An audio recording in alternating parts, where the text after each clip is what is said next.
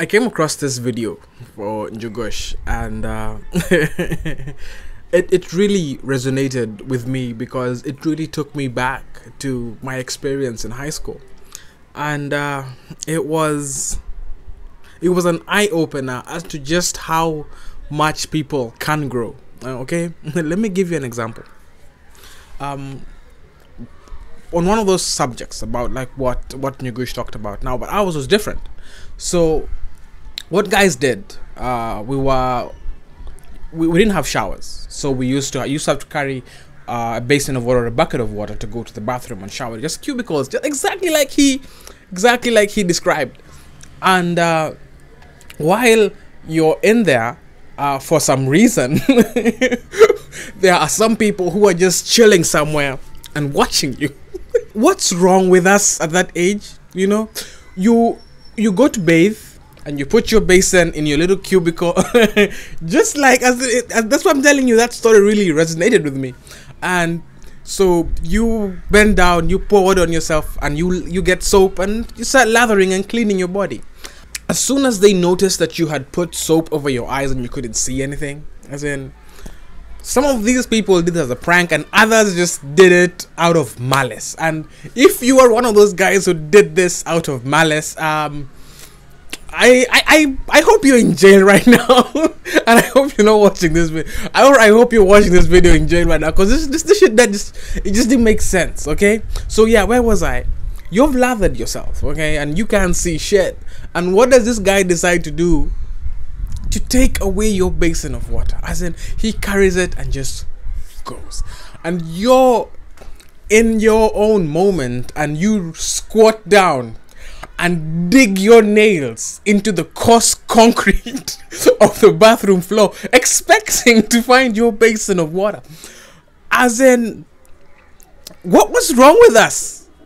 How could you do that to another human being? As in, I think these are some of the people who are out here right now with psychological issues because that stuff doesn't make sense, you know? And it happened, it was a norm looking back right now that shit's just mean it's just it's just really mean okay? Let me give you another example. Uh this is more fun. Uh, okay one thing to remember about this part of the story is that we were in a mixed school okay? When i say we i mean me and my brothers. Uh, we were in a mixed school and uh, the beauty about my school is that it was a really good mesh of people okay? We had students who uh, having to raise fees through fundraisers and uh, scholarships and stuff like that, up cutting across until MPs and ministers' kids. Like we had a rich mixture of people at school. And the funny thing is that this happened with all of these people. Like, um, uh, let me explain. Our school was in a really hilly place, so we got a lot of rainfall, like a lot of rainfall, and when it rained, this was the one time that we got to enjoy God's natural shower. Yes, a school. Okay, remember we're in a school, and we enjoyed God's natural shower, but us naked outside. And like I, uh, the only thing that separated the boys and the girls end of thing was the football field.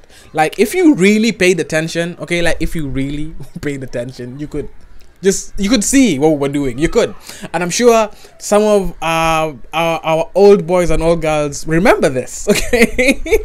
That you could literally walk from the dorm or when you're going somewhere and pass by another nigger butt ass naked showering in the rain and you said nothing.